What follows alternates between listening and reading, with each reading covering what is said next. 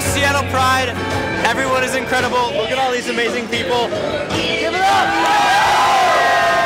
They're all amazing. I'm so happy. I am super excited to see him because I am a genuine fan of his music. I mean, not only is he beautiful, but he's a really talented musician. He's my future husband.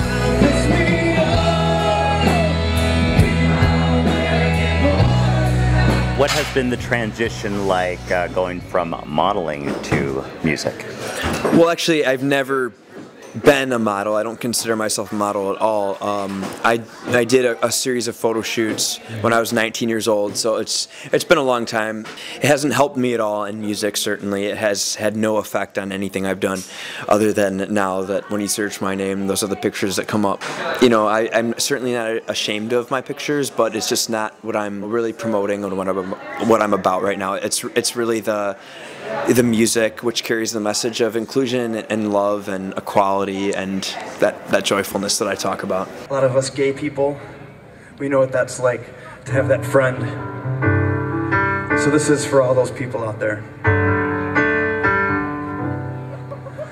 Do you remember California? I heard that you have a passion project in regards to youth. I do. I have a, absolutely a special place in my heart for the youth. Um, because when you're young, you don't have a choice of where you're growing up or the value system that your family has, which obviously influences your own value system at the time. Mm-hmm. So, as a young person, I was very influenced by my parents and um, their beliefs.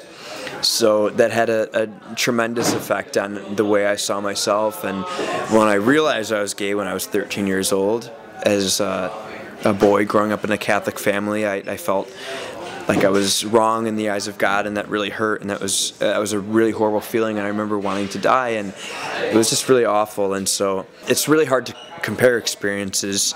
I think we all have our own struggles in life, and we all have to make the best of what we're given. But if I am able to accomplish anything, I hope that it's that I reach some kid out there who's maybe from a small town or or anything like that who feels like he's not right because of this core part of who he is and he feels like it's wrong. And I hope that if there's any way that I could reach that kid and show him that there's a there's a great joy to just being who you are and accepting who you are. And that's really what's beautiful and that's what makes us beautiful as humans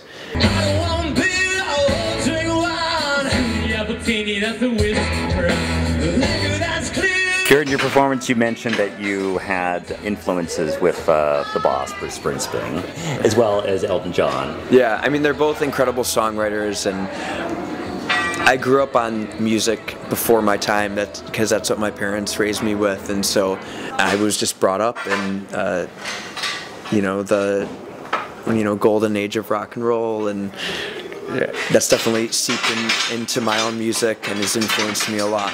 I was surprised when people labeled me as country, although now I could definitely see why you know people wanted to call me that. I think a lot of it was you know the media wanting to sensationalize things, but more than anything, like it's just never been important to me what style of music people call me. I mean, I'm a songwriter. Good songs come in in all different genres of music. So I just try to write good songs, and good songs are honest songs to me, and they draw from real life experiences or what we observe in real life. So that's where my music comes from.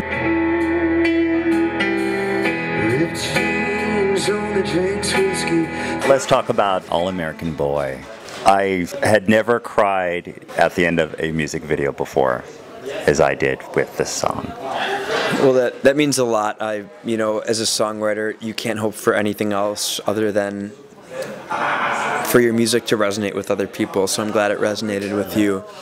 You know, All American Boy goes all the way back to being that 13 year old kid I was, uh, I was a Boy Scout and I was going to Boy Scout summer camp and actually I, I had a little crush on a camp counselor and I didn't realize what that feeling was at the time. I knew I felt something different and unique that I had never felt for anybody before. And so it wasn't until the drive home, it was a five hour drive from, from northern Wisconsin back to the south suburbs of Chicago, um, that I realized that, wow, you know, I I have feelings for this guy. You know, I, I, I love this guy in a way that a 13 year old could, could love a man. Wow, I'm I'm gay, and from that moment on, I was absolutely terrified.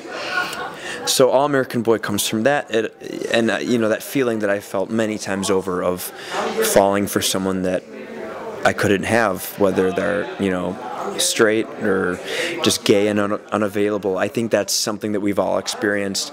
So All American Boy really isn't. It's certainly not exclusive to gay people, but specifically, uh, I just want to add my my dad used to pat me and my brother on the head when we were young kids and we'd be walking out of church. Maybe we were eight or nine years old and he, he would brag about us to the, the other parents in the neighborhood and say you know these are these are my boys my my Billy and Steven. You know they're just your all-American boys that you know they they play baseball and they're in Boy Scouts and they get good grades. And so that idea of what it means to be all-American has always been something I've thought about. And so I wanted to kind of reclaim that and say that you could choose your identity. And it doesn't you don't have to listen to anybody. Um, whatever you want to be you could be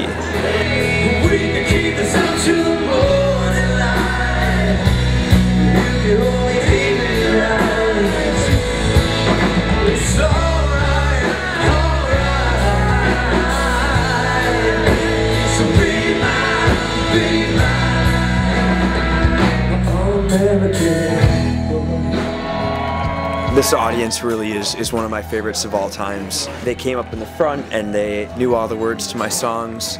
Seattle definitely uh, has a special place in my heart already. Thank you so much.